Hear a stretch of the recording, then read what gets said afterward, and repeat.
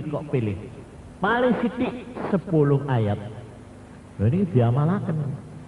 Nggih, napa maca Quran, ningali tulisan, apa apal-apalan, pokoknya ojo kurang sangka 10 ayat. Niku Masya Allah, Quran niku namung bacaan. Quran itu bukan hanya pedoman isinya untuk diamalkan, tapi justru Quran itu bedanya dengan hadis, bedanya dengan hadis kutsi, karena membacanya itu saja sudah dimasukkan ibadah. Jadi wong maca Quran mboten ngerti maknane niku ibadah, ibadah. Luwe-luwe kangge wong bodho-bodho niki. Lah nek maca Quran niku kudu ngerti tok. Nek ora ngerti ora oleh apa-apa. Lah mesake sing bodho-bodho niki oleh apa terus? Kudu pinter lah ngajine niku oh, kula niki kadung kebabas sekolah umum kula niki. Mboten ngerti niku ilmu cara Arab mboten ngerti. Lah, mila pemberikilah. Quran itu perlu sebagai pedoman, sebagai pengayom, sebagai berkati. Malah niki jaminan. Janji omah iku ana Qur'ane. Aja sampe omah omah wong Islam ora enek Qur'ane. Siji, loro janji wong omah iku gelem maca Quran itu. Mbok anake, mbok bapake, mbok mboke titenono. Omah iku bakal ora kekurangan nafkah. Arep dicukupi karo Gusti Allah. Apa sing dadi keperluan rumah tangga itu?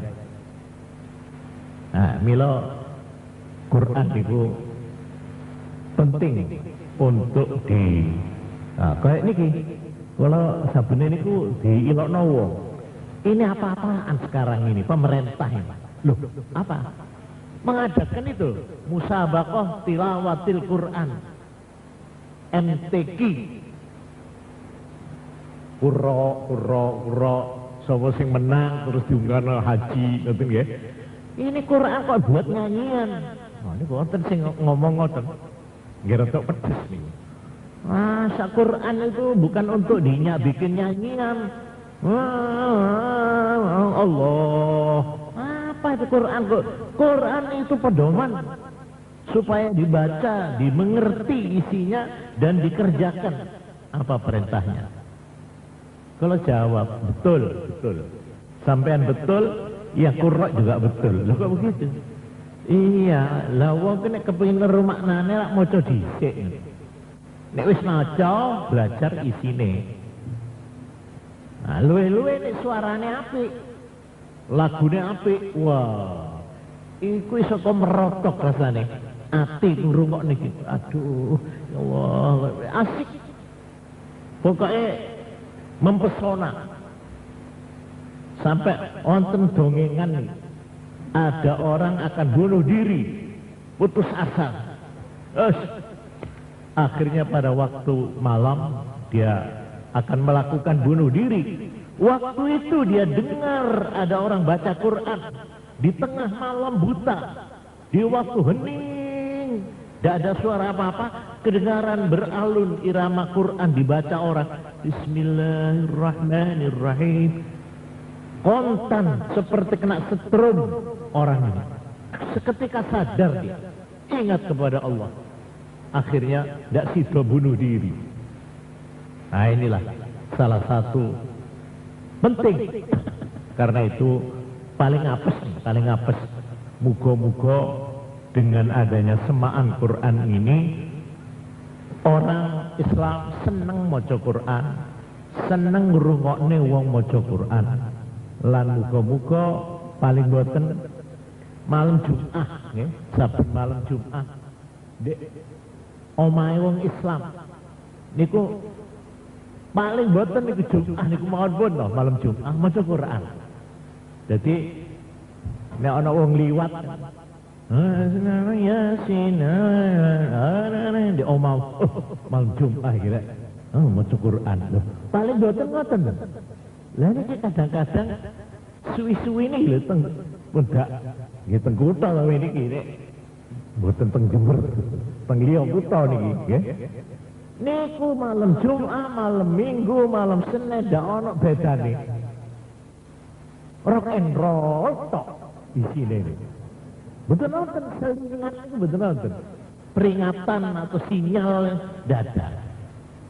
Dan zaman kuno ya, oh nita eh maju aja, nah mau moco yasin, moco Quran. Nah, ini. Kalau suasana Indonesia ini di kalangan umat Islam dengan Quran dibaca di tiap-tiap rumah, insya Allah, insya Allah hasilnya besar. Dengan itu pembangunan Indonesia ini akan komplit. Terutama bagi penduduk rumah itu sendiri kesetrum. Nek uang arek cilik-cilik niku masih tidak ngerti maca Quran kulhu napa to ngrungokne. Niku suwi-suwi masuk nih. Misal netes teng atine. Insyaallah dengan itu pintu hatinya diketuk lalu dimasuki hidayat nur dari Allah Subhanahu wa taala.